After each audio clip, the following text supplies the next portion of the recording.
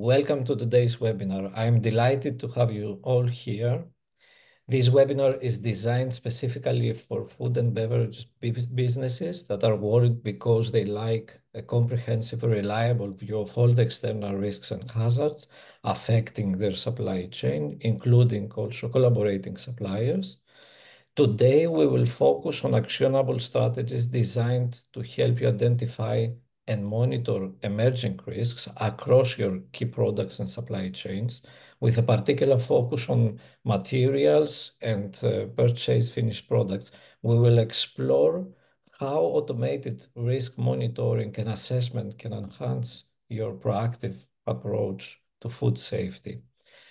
Uh, just a few words about the situation that we see today for the food manufacturers. Food manufacturers today are navigating an area marked by uh, uh, by a lot of frequent food safety incidents, product recalls, and global disruptions. The consequences of these recalls extend well beyond immediate financial losses, impacting consumer trust, brand reputation, and even uh, sustainability, undermining sustainability goals through increased food waste. As food manufacturers, uh, the core challenge you are facing is the lack of a holistic, comprehensive view of potential risks worldwide, That uh, the risks that could disrupt your supply chains, from supplier vulnerabilities to hazards present in raw materials. So in this session today, we will delve into proactive and practical strategies to enhance risk assessment and mitigation processes, refine and streamline your food safety plans, development, and adopt a future-focused uh, approach to food safety management. We will provide actionable insights and tools designed to help you identify and respond to emerging risks more effectively and more efficiently. So just a few words about the focus on our webinar today. We will focus on the and uh, we will uh, discuss the key challenges in monitoring and assessing ingredients that the manufacturers are facing, how they can understand the complexities and common uh, obstacles in evaluating thousands of ingredients for potential risks and maintaining proactive food safety. Uh, the other case that we will uh, present, uh, that we will discuss is, and we will focus very much, is the real-world use cases in risk mitigation.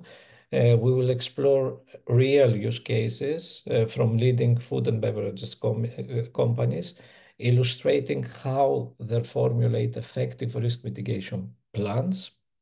We will also discuss uh, uh, the strategies, and we will explore the strategies uh, to conduct full-spectrum risk assessment across your supply chain, enabling a thorough view of risk areas while minimizing manual processes and maximizing the efficiency.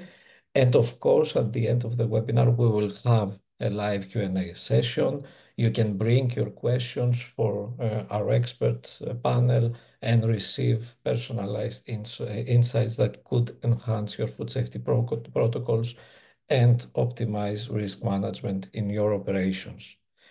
So let's start with our uh, expert speakers today. So I'm, uh, it's my honor, and I'm also delighted to have uh, today with me uh, Sara Mortimore, an expert with vast expertise in food safety technology. Uh, Sara will share with us insights on how companies can leverage technology to enhance food safety and meet regulatory uh, requirements. Uh, and we have we we have also today with us Denis Treacy, which is the CEO of the Culture Compass.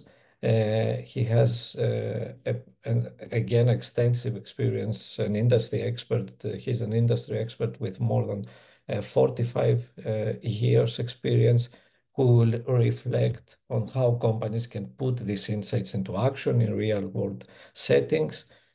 So I want to welcome you both and thank you so much for being with us today. I would I have a warm-up question uh, for, for each of you. So what do you expect from this panel? Sara. Thanks, Giannis, and, and thank you to everyone who's joined and those I know who take the recording and listen later. Uh, thank you for being on. Um, I'm looking forward to a really good discussion on how we can leverage technology tools to enhance our HACCP plans. And I love what Giannis has got behind him. Let's ensure safer food for everyone. Things happen, things go wrong. How can we get ahead of that, learn from others' mistakes, and uh, build in more prevention to our HACCP program? So I'm really looking forward to the discussion. Thanks for including me. Thank you so much, Sara. Denis, welcome. And thank you. It's, it's, it's great to have you here today. Thank you. What do you expect from this panel? Um, well, can I first uh, echo uh, Sara's thoughts? It's great to uh, sit on the same platform as Sara again. It's always a learning experience for me. And so, my um, thoughts on this I know I've worked with uh, you guys a couple of times now, and what I find exciting is what new and innovative ideas you can bring to the reduction of risk in my supply chain. So what I'm looking to do is to hear some examples of, of work that you've done and then also add my perspective onto that. And I'm really hoping that we do, and I do recognise a number of the uh, attendees today, so I'm hoping we get some great questions. Uh, I know there are a couple of people in there who uh, who will definitely have some views. So I'm looking forward to uh, ex exploring the ideas, but then also very much to having the debate uh, later, Giannis. That's great, and thank you so much for the intro. So let's move on. I will start with the challenges that we see uh, in the industry. Uh, so the modern food and beverages manufacturer landscape is increasingly complex. Uh, I think that we all know that, and uh, no one will disagree on that. With supply chains spanning the globe, food safety and quality teams face the, the challenge of ensuring the food safety and integrity of thousands of products uh, and across diverse categories.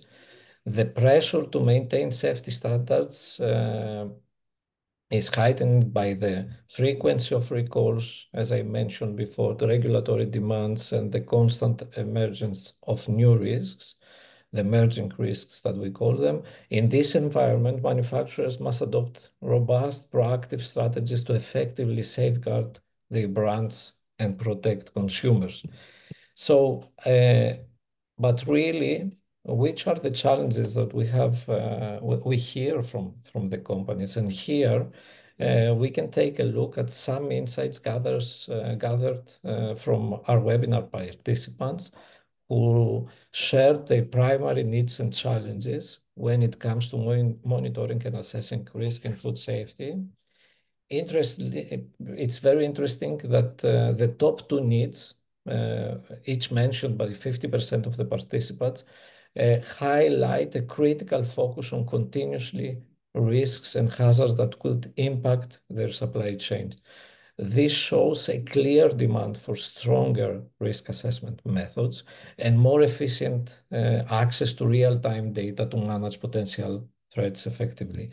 Uh, so uh, in more detail, the challenges in prioritizing these needs that we hear is, first of all, there are predictable risks. So many participants uh, before this webinar expressed concerns over unexpected emerging risks they have not encountered before, especially those arising from global supply chain uh, disruptions and new sourcing regions. Uh, these unforeseen challenges increase the difficulty of maintaining proactive risk management.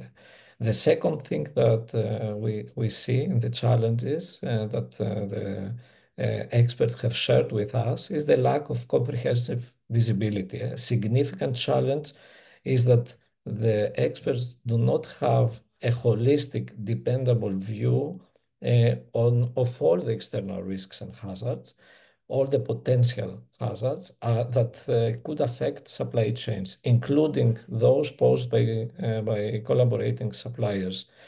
And then another challenge is the outdated and manual processes, So we, we hear a lot from the people that we are working with that uh, they are frustrated because still some uh, tasks like the risk monitoring and risk assessment assessment is done manually. Uh, some processes are outdated and can be updated only once per year. Uh, and this, of course, this approach not only shows uh, uh, not only, sorry, slows, slows down the decision-making process, but also leaves room for human error, making it very hard to adopt to a rapidly changing risk landscape. So these responses underscore the urgent need for modernized, streamlined systems that provide a reliable, real-time view into supply chain risks. So before moving to the, to the specific use cases, Sara, Denis, which is your reflection on this, on the, these industry challenges? I will start with you, Sara. Thanks, Giannis. Um, you know, I started out more than 40 years ago, and, and um, in those days, we relied on quite static information sources, ICMSF, libraries if we were lucky enough to have access to those and it was very static um, there's so much information today um, and the global supply chain adds so much complexity to when I was first a quality manager working in HACCP. So I, I think it's interesting that that those sort of priorities come through. Um, I was a little surprised at how much lower the um, filtering out of what's irrelevant came on that list. Uh, I know everything is relevant to some extent, but that to me would be a major challenge today. I think if I had access to what was going on around the whole globe, 26%, there we go. I thought that was quite interesting um, when you think about having a more dynamic, preventative food safety management system. And I see so often HACCP plans now that are inherited, they're quite static.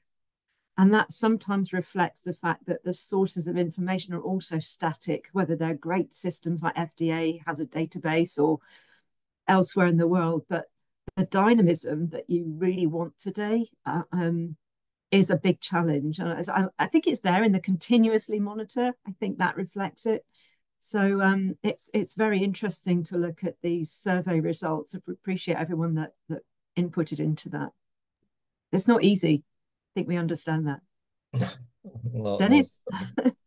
Denis, what do you think about these challenges? Um, look, I suppose my, my, experience, well, I agree with Sara. You know, when I joined uh, uh, Unilever back in 1979, every factory had its own laboratory. We were testing our own raw materials. There was no coordination. There was no links to anything. Uh, and what we see today is a, is a, is a revolution. And in just in terms of our understanding of the environment. So we know an awful lot more now than we did back then. Uh, we still don't know enough because we're still experiencing problems. Has that is that because you know consumer demand has driven us to the far reaches of uh, of uh, our dear planet? You know where people are not satisfied with what they even last year, let alone 20 years ago. So consumer um, trends have driven us to uh, explore novel materials from novel parts of the world.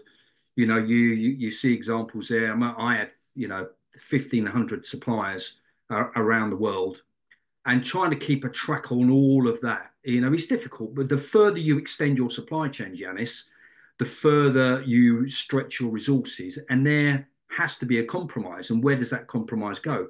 The other thing I'm, I, I be, became increasingly concerned about towards the end of my formal years in, in food supply chains was that audit bodies and retailers uh, began to drive the agenda of what was appropriate to be uh, the focus of internal QA teams. So I was increasingly seeing even my own teams. I had 36 factories in across 13 countries, and even in my own factories, my own QA teams, uh, QA and food safety teams were becoming distracted by becoming ready for the next audit, whether that was a retailer or a GFSI or even the pest control reports, you know. So they stopped actually thinking for themselves and started waiting for somebody else to tell them what their next non-conformance was or what they needed to do.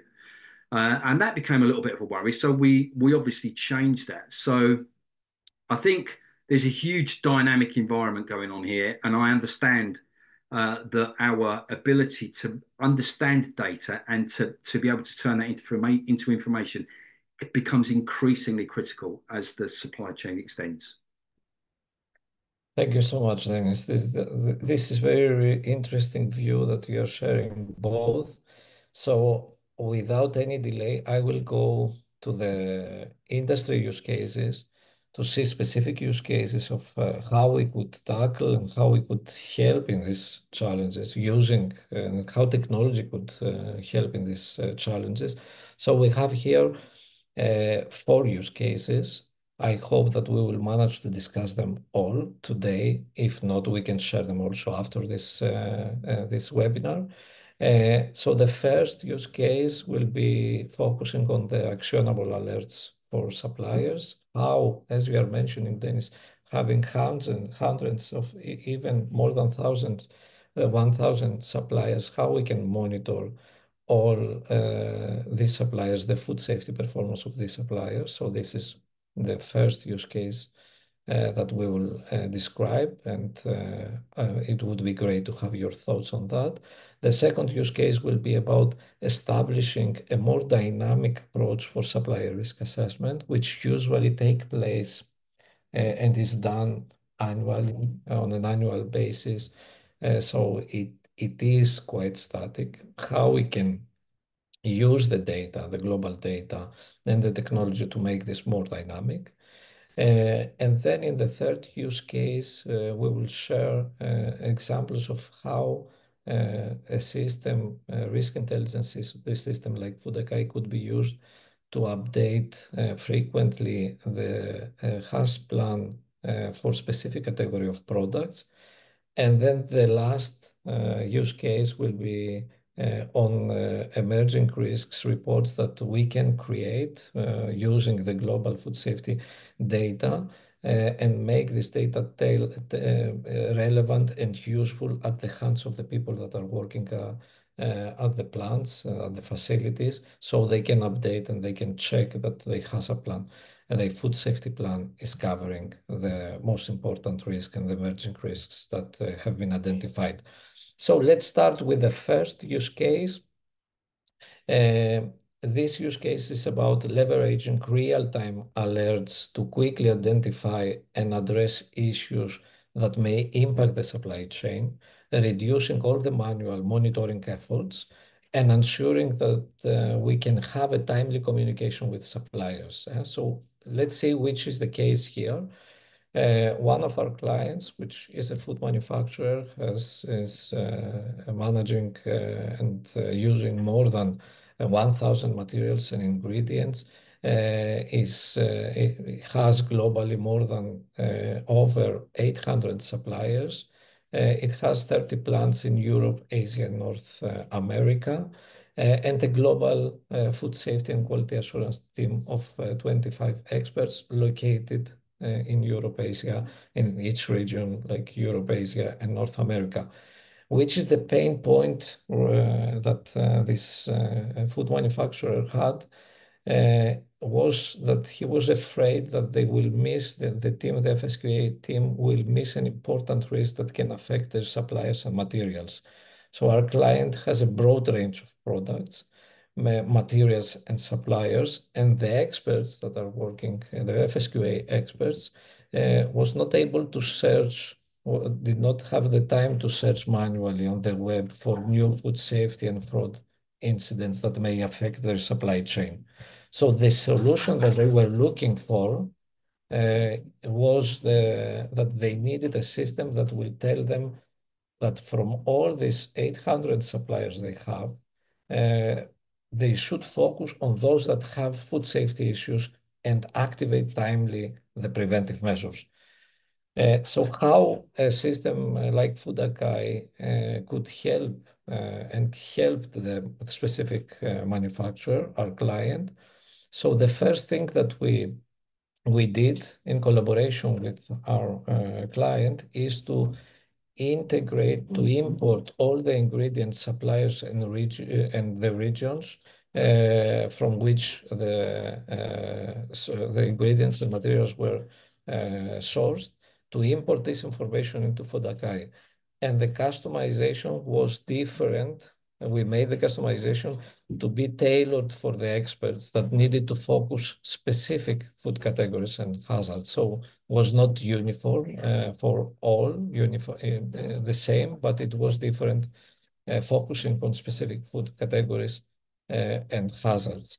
Uh, and uh, after doing this kind of customization, the system using the global food safety data that is collected from all the food safety authorities all around the world, the system is uh, uh, sending email alerts highlighting every time which materials and ingredients may be affected.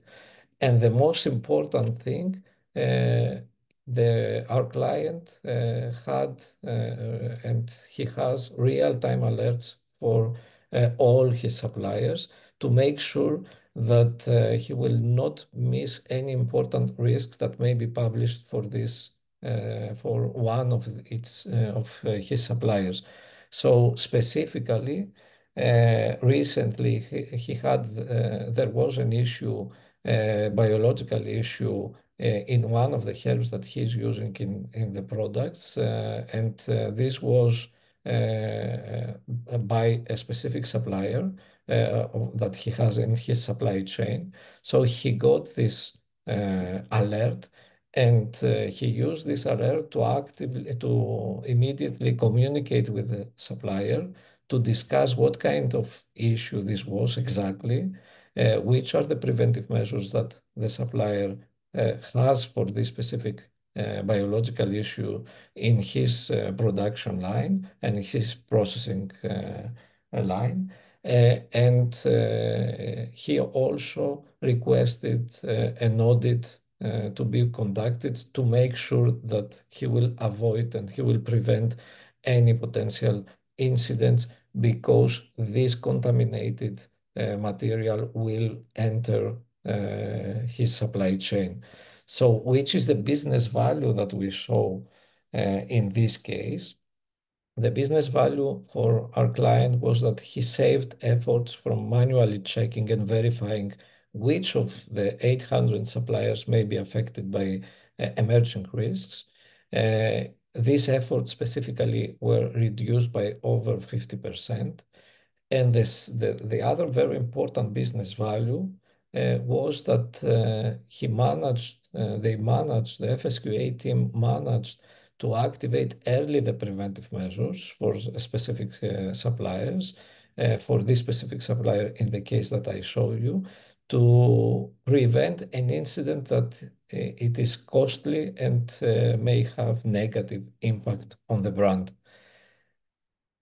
Sarah, what do you think about this use case, which is uh, how close it is to what you have seen in the industry.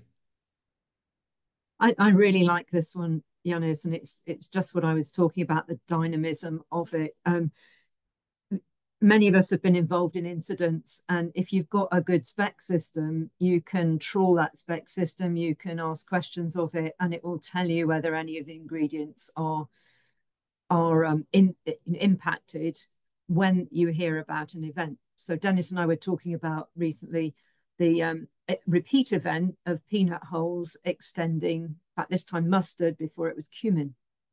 When cumin happened, which was about 10 years or so ago, we had to trawl through the specs looking for anywhere we used cumin.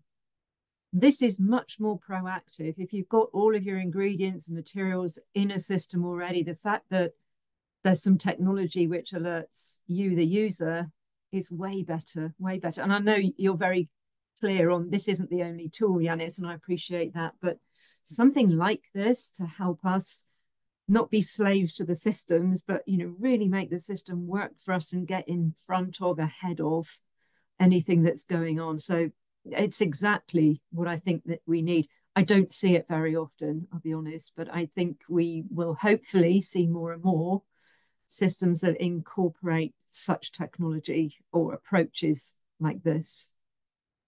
Thank you so much. I could talk longer, but I'll stop. Yeah, yeah. We have we, have, we have some more use cases. So you we can we can also uh, you can also share your thoughts about other aspects uh, of the risk monitoring and assessment and prevention. Denis, what what do you think about this use case?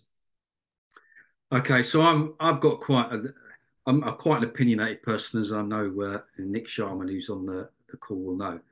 So any business, any food business that waits for something to happen in order that they react to it and safeguard their products and their consumers shouldn't be operating as a food business.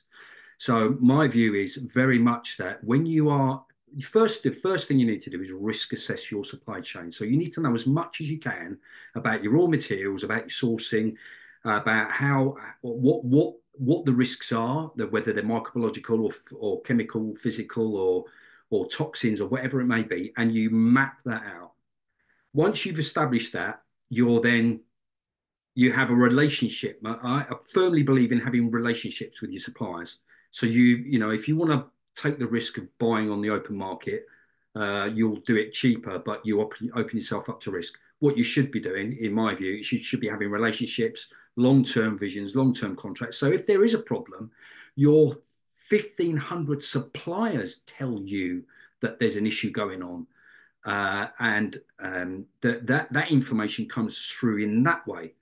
Having said all of that, the biggest risk in any supply chain is change, is vulnerability, is, is, is when things happen that you haven't predicted or things happen that you couldn't have predicted.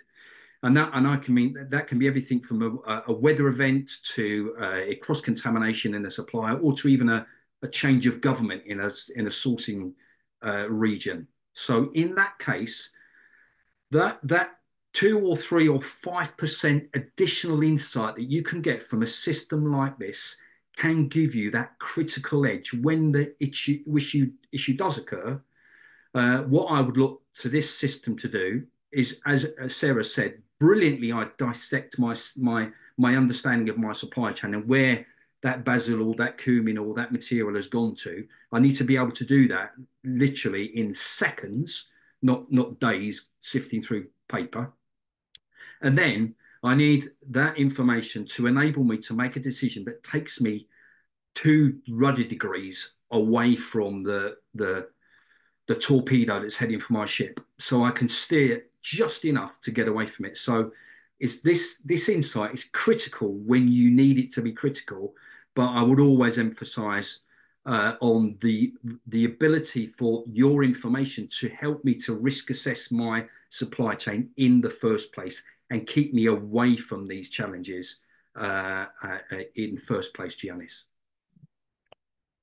That's that's very important, and uh, for the, this reason, the second use case that we have is about how we can enable this uh, risk assessment in the supply chain of a company. So again, here we have a company with similar profile, a food manufacturer with sim similar profile, and this specific use case is focusing on how we can leverage real-time food safety incidents data to establish a more dynamic risk assessment for suppliers and efficiently design the preventive measures, like for instance, audits, the, the audits plan or the, the testing plan.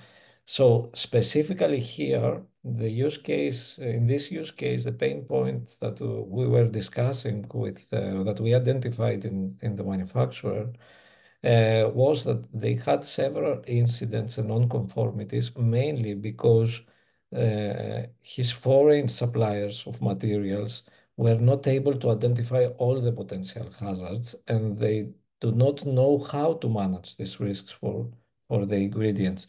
Uh, here, the example, the specific example had to do with uh, some specific uh, herbs and spices and also cocoa as a material until before using a system that can provide all the data and can enable this uh, more dynamic and automated uh, risk assessment for suppliers, the FSQA team performed uh, supplier assessment once per year using mainly internal information that they have about audit result certification and non-conformities. Of course, these are very important data and should be used. But it's not enough for the reasons that you are uh, also describing, Sara and Denis. So uh, they they were trying to do that using several spreadsheet files.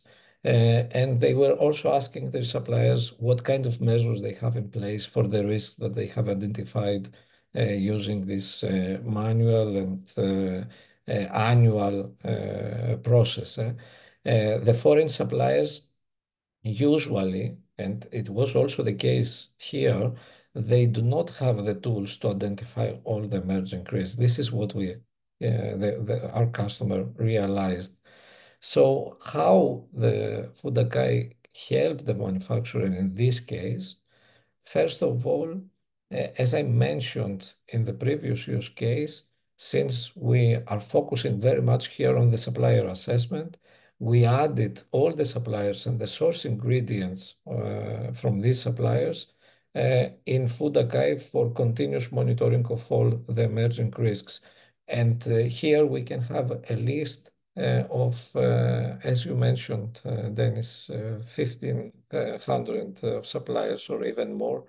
We have clients with more than 2,000 suppliers. So there's no limitation because this is what this kind of technology can bring to you. It does not, uh, the technology can support very large numbers and can do very uh, efficiently this work of manually checking of what is uh, what uh, kind of issues there are out there for the suppliers and the source ingredients from these suppliers. So the the client managed to identify all the potential hazards for the materials and ingredients uh, for each supplier. And uh, they shared this report. It is possible to create such a report in the system with all the potential uh, hazards for the materials and the ingredients that are used. And they shared these reports of hazards with suppliers, asking them to provide Uh, a food safety plan and a set of measures that covers all these potential hazards. Uh, and uh, the other thing that they managed to have is on the system, they can have a dynamic risk assessment dashboard for all the suppliers using data, not only the ones that they were only already using, but also data for recalls, border rejections, inspections, outbreaks that uh, this supplier, that each supplier was linked to in order to reduce the frequency of audits for low-risk suppliers and increase the focus on high-risk ones. So this is what this kind of dynamic risk assessment approach can enable. And one more thing that was very critical in order to design the preventive measures, the plan, the audits plan, or the testing plan was to use for these specific materials the forecast for the uh for the trends of specific hazards from uh, for materials from specific regions. And this is what enabled uh, the proactive communication and what uh, allowed the proactive communication with suppliers to make sure that they have a preventive a a plan, a testing plan, an audit plan that is focusing on, and it's including all the uh, risks, all the emerging risks, but also all the known issues that uh, uh, we have for these specific materials. And again, here, the business value that we have for this specific client is that he can be sure that all the foreign suppliers will have preventive measures for all the potential hazards by sharing these reports, these hazards reports that I mentioned. Uh, they He he is able now to design an efficient audit testing plan that is focusing on the most risky uh, suppliers uh, and less maybe on the on the ones that are not affected so much by emerging risk And of course, the eventual goal is to reduce the number of non-conformities and to save costs from the rejected materials and finished products uh, by having a very good risk prevention approach. Sara, what do you think about this dynamic risk approach for risk assessment approach for suppliers? Is this something that it could help also other companies in the uh, industry? Yeah, no, no question. I think uh, when I've been to manufacturing plants and I look at their hazard plans and particularly the raw material hazard analysis, which often is not very deep, the hazard analysis of raw materials, and you say you really need to do more people work really hard, in my experience, in the food manufacturing industry, and they look horrified because I uh, might already be working 12 hour days and I'm asking them to do more. That's a 16 hour day, they're thinking. So we have to work differently. We have to. And we have to leverage um, technology insights that we can get from wherever we can that's reliable to enable us to be um, not just more efficient and save time, but actually being much more effective and comprehensive in our hazard analysis. I'm based in the USA, for those of you who don't know, so I'm well familiar with FSMA and what the FDA has been doing. FDA is about to relaunch their training on FSMA, and they are majoring on raw material hazard analysis. Why are they doing that? Because they recognize a gap. And they're asking any of you that are involved with the USA or importing into the US to go much, much deeper in your raw material hazard analysis. They provide guidance. Appendix A is excellent, also revised in January this year, but it's static. We need to use good references like that, but with something dynamic like this or similar tools to really bring um, much more real time hazard analysis into our program so that it's not just once a year update for the auditor, as Denis alluded to. Agree with that too. So it's much more day to day, but efficiently done. And I can't think how else the industry can do it, Giannis and Denis. I just can't. So I really like this case study. Thank you. Thank you so much, Sara. Denis, what do you think? Okay, so first thing I would say is that I've never been able to employ a, an effective food safety system by uh, by using the threat of uh, cost if we get it wrong. So you know, using the uh, cost prevention model never it didn't even get my finance director excited. It's all about trying to deliver reduced cost overall in the business, not not cost avoidance. So the way I operated, uh, and I think the, the example you've given here meshes perfectly in with that. You know, people rely upon certificates of anal analysis, delivery and inspection, a, a sample that you take and test and positive release and all that sort of thing. I'm wondering if the, the work that I was doing with my business, which was once we'd identified a risk, Giannis, and that risk might have been something you could measure, I expected my supplier to provide me with their routine monitoring procedures in their laboratories for their raw materials. So if they're producing something for me, I want to see the pesticide report for the grain they're buying before they've turned it into flour. I want that information sent to me. I want that logged and recorded. So I'm not actually looking at what they produce for me. I'm looking at the way they operate their material supply chain themselves. So if that in, so that dashboard which you shared is absolutely music to my eyes and ears because it's exactly the way I operated. And if I could have incorporated the insight that you have into my dashboard, so all I can see is what my 1500 suppliers are sharing with me, plus what I'm auditing, plus what I'm testing. If you could share the worldwide perspective on that, then uh, that's going to give me that three to five to six percent more insight than I have with my own systems. Then for me, it could potentially be a game changer, not just in terms of avoiding issues, but in terms of me being able to genuinely save money by reducing the testing that I have in place for my suppliers that do comply with my systems and don't pick up uh, uh, don't appear on my dashboard as a red uh, to enable me to focus on those other areas, extreme areas where I've got no choice but to sample and test before I put that product into my plant. So that's my insight.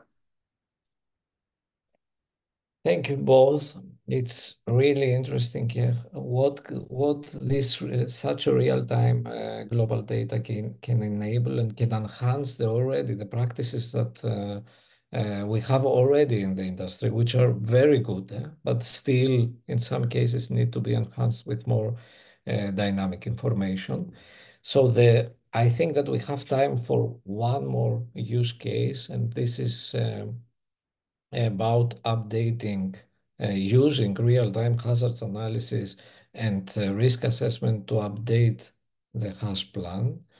Uh, here we have a manufacturer with a bit more larger supply chain, more ingredients used in their finished products, more suppliers globally, 20 plants, but a smaller FSQA team. So the challenge is even bigger if you want to update the food safety plans, if you want to make sure that uh, the uh, plants, the facilities are uh, implementing correctly a system. So here the focus is on a specific, a specific category of products like bakery products. The manufacturer, the main pain point that we were discussing with our client is that they had several incidents because they had physical, biological, and chemical specific hazards uh, in uh, the, uh, their supply chain, specific issues. and one of the things that they realized that they can do is to update the HACCP, but every time that there is something, an emerging issue, but it was they were explaining to us that it's time consuming and uh, uh, right now they can only do it every time that something's already happened in a, a more reactive way. Yeah? So the solution that uh, they needed uh, is a process to update, to set up a process that can update uh, the food safety plan for all the potential hazards and they needed a system that can help uh, very much in the identification of potential hazards uh, that can drive the identification of, of course, of critical control points and also how they can decide which are the limits for each critical control point.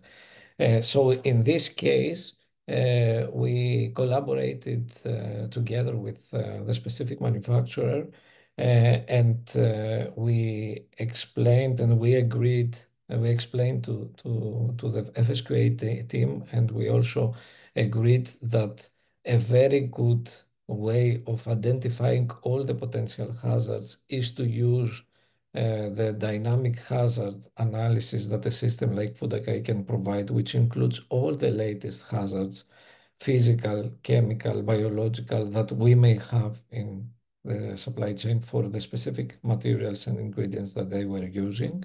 So this was the first point at which uh, the hazard planning could be enhanced. The second point is that uh, for each of the uh, identified potential hazards, we have the frequency of uh, the specific hazards uh, identified, reported for these uh, materials and ingredients. So we can determine using this frequency uh, which are the critical control points that we should have. Uh, since the system is also reporting not only the issues, uh, like for instance, that the acephate was, uh, find, was found in a specific vegetable, but also which is the analytical result of this uh, uh, acephate of this specific pesticides that was at the pesticide that was used. So we can use this knowledge and the client can use this knowledge to establish the limits for this specific hazard. And uh, we we also discussed and uh, uh, we we set up uh, a very good way of uh, keeping all the records for the HACCP planning. Like for instance, having all the testing results for the critical control points uh, organized in a dashboard, organized in a system, and be able to use the dashboard to see how much, how close we are operating to the, how close to the critical limits that we have defined. Uh, we have the analytical results for the specific uh, hazards that were identified in the uh, specific supply chain.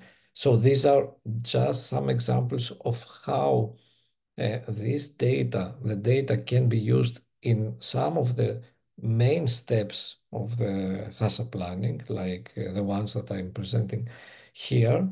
And we just focus on three, Uh, four steps that we can use the global data to enhance uh, the hazard planning.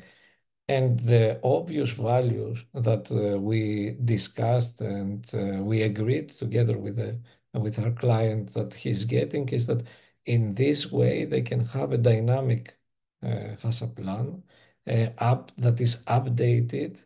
And this allows the prevention of incidents which are costly and have a negative impact on the brand. Uh, and uh, my question here to you, Sara and Denis, is how often do you see that we have incidents uh, because we are we have we are using outdated information about the potential hazards in the supply chain? Yeah, I think I think it's a great question, Giannis, and more than we should be, I think, impacted by some of the failures in the industry. When you're doing your hazard analysis, you're also looking at a risk assessment, and likelihood of occurrence is the is the variable. Usually, the impact on health is somewhat um, static, somewhat, although you know obviously medical knowledge changes, but it's the likelihood. And we don't adjust that likelihood often enough based on failures that we see in the industry. You've got lettuce here in a bakery, so I'm assuming it's perhaps a sandwich manufacturer or something like that, which is quite risky because you've got a lot of inputs coming in that you're not actually processing or changing during your in in your own manufacturing plants. You have to manage it further upstream. Um, I hear sometimes people say, "Well, that happened in a that happened in a different country, that failure. it, does, It doesn't happen here. We've never had a failure here." Well, to say that, you really have to understand root cause of that failure to know that it isn't going to happen. Why is that risk, that likelihood less in my country or within my supply chain, less than it it was in the supply chain that it happened? So you really have to dig in, um, and you have to have that um, trigger to do that, which is coming from these kind of dynamic sources of information. I like all of these three use cases. They're very interesting and just show the the need to have that real-time input for likelihood of occurrence and risk assessment. Thank you so much. That's a great view. Denis, what are you thinking? Um, yeah, I'm not necessarily sure I agree with the whole concept of having a a HACCP system that that adapts and changes. I suppose for me, it was always because because of you know the difference in capability across 13 countries and 36 manufacturing plants as to understanding what to do on a day-to-day basis. I we kind of i I tended to make it quite simple. You know, HACCP is identifying the hazards, identifying the control points, and more importantly, the critical control points, and putting monitoring in place and absolutely using that monitoring to to react into the process. If you are seeing something coming at you from a different angle, or you're seeing a different loading, or you've got some specifications uh, uh, that you've got raw materials that are not meeting the limits that you've set for the supplier, I wouldn't be touching my limits in my HACCP if that's what the suggestion is. I wouldn't be adjusting my my acceptable or unacceptable thresholds or levels in my HACCP system. I'd be looking at resolving that, as Sara perfectly put, much further downstream. So I would need a process that would prevent that material from entering my process completely because it hasn't met the limits. So am I putting positive release in place for certain materials? Am I taking materials to a separate area to have that cleaned before it even hits my supply chain? What are the options that I can have at my disposal, but keeping my factories and my factory processes absolutely consistent uh, and repeatable because you know my philosophy has always been you know, repeatable uh, and predictable. That's what my two favorite words are for supply chains, and that came to me from my commercial colleagues who said, you know, when we said to them, you know, you're launching a new product and and you're going into a new environment, what do you need from the supply chain? They said, just do the same thing all the time. Don't give us any surprises. So my surprises, I agree with Sara. The surprises need to be dealt with downstream. So any insight that can help me to do that is always welcome. That's that's a very good view. Different, a bit different view what what what I was describing, but very very important. So as I mentioned, we have one more use case. I will go very quickly through it. The main idea here is how to use the information of the emerging risks and share this information uh, also with the people that are working in the in the plants, uh, with the plant managers and the QA teams there, uh, and do that frequently every month. This is one of the uh, use cases, uh, uh, client use cases that we also have Uh, for a food manufacturer that has a similar profile of a long and uh, large uh, supply chain. So in this case, all the a report with all the emerging risks is created monthly and is shared with all the both with the management team, but also with the plant managers at each facility, at each plant. And the main goal is to make sure that the information about the emerging risks is something that goes both to the management at the management level, but also at the production level. So this is the idea. And they are also, in this use case, our customers is also, our customer is also attaching the forecasts uh, for specific hazards and regions. Uh, so they can also include the forecasted trends of specific issues in specific materials that they can uh, that we can produce that a system like FOODAKAI can produce using the AI technology. So the the business value by having this very good knowledge of the emerging risks and sharing this knowledge at all the levels, first of all, they have saved a lot of time uh, uh, from the manual checking and identifying the hazards, uh, they they feel that they are doing the best they can in order to prevent incidents because they are always looking about the emerging issues that are out there. Uh, and they also managed to activate early the preventive uh, measures for all, all the, the affected uh, products. And of course, the goal is to prevent an incident that can be costly and has negative impact on the on the brand. So this is the last use case, uh, quite similar with sharing the information about all potential hazard with your collaborating suppliers. But here is about uh, the sharing. This sharing is about uh, the internal, your internal supply chain and how you can make sure that all the people at the different levels have the information of the emerging issues, and this information is relevant for them.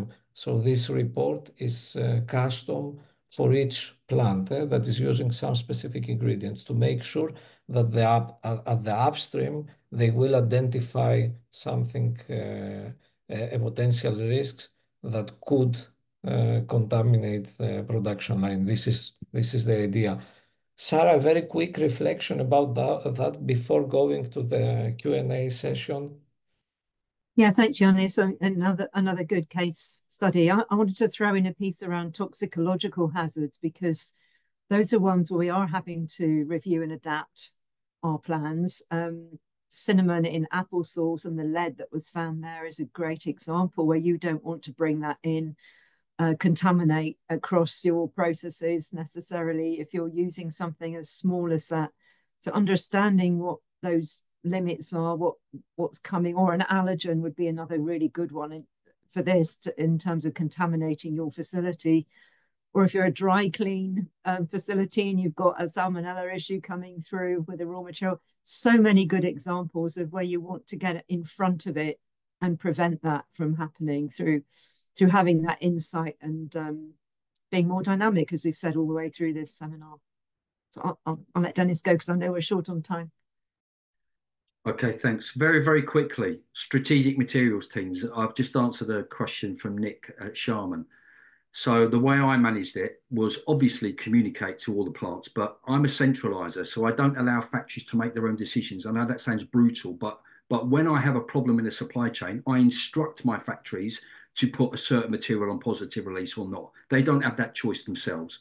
And I operate strategic materials teams, so technical, procurement, marketing, operations, set every month, review all of the material groups in groups, starches, packaging, uh, cocoa, whatever it may be, fats and oils, and we review that. We look at all the information and we instruct factories how to conduct the next four weeks of sampling and testing. Simple as that.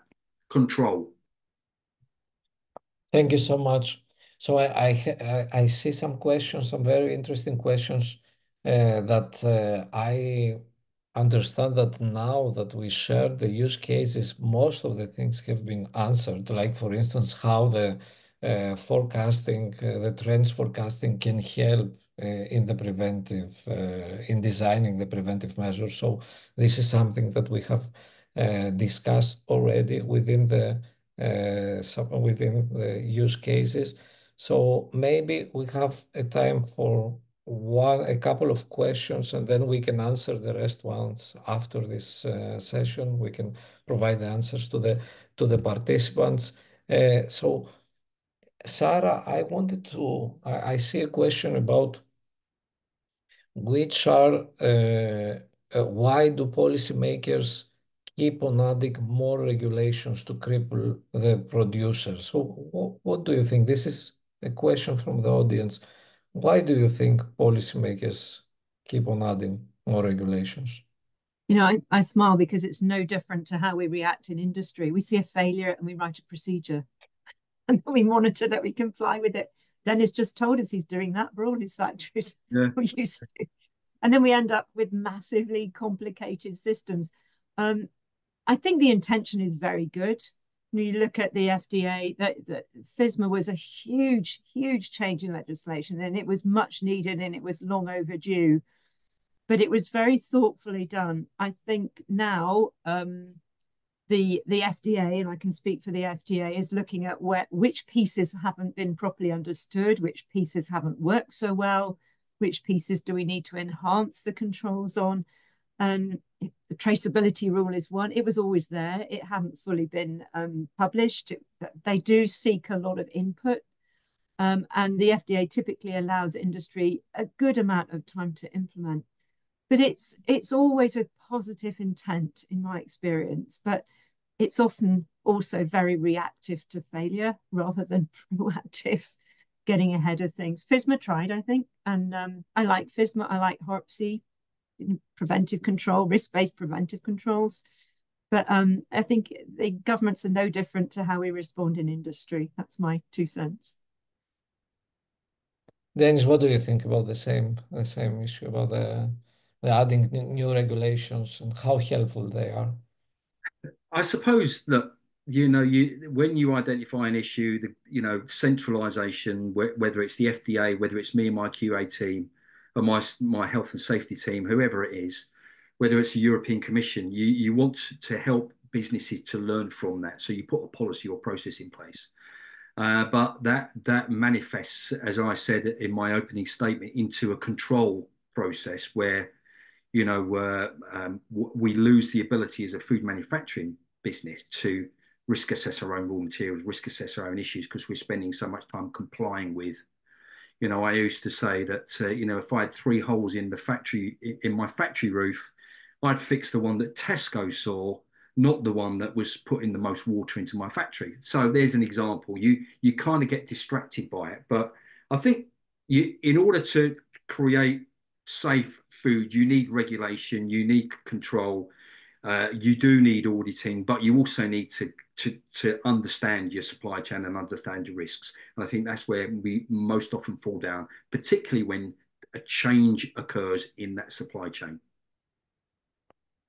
Thank you so much. And it, it was really a very interesting discussion. As we, uh, uh, I, I see some uh, in, in the chat, in the Q&A, we could have this discussion for hours and uh, elaborate more our thoughts. But uh, I would like to thank you so much, uh, Sara and Denis, for sharing your thoughts and views on how the technology can help the food industry uh, in uh, enabling the risk prevention, in in changing, switching the reactive approach that, we have uh, to more proactive approach. and of course, this is not that can be done by just pushing a button. It's not so easy. We need to follow the regulations. We need to to keep very good processes and practices that we have in place, and we need to integrate uh, the system in such a way that can enhance the current uh, approaches. So thank you so much uh, for all of you. Thank you very much for all of you that participated in this webinar. If you want to Uh, deep uh, to to to to have a deep dive, uh, a dedicated session with us on how the technology can be used uh, uh, in order to have actionable insights uh, and to enable this the risk prevention that through the use cases that we showed you, we are very happy you know, to, to organize a call and to discuss this. So thank you very much. Sara, Denis, thank you so much. It was so great to have this discussion and have you with us today. My pleasure. Thank you, Giannis and Denis. Thanks, uh, Sara. Thank you.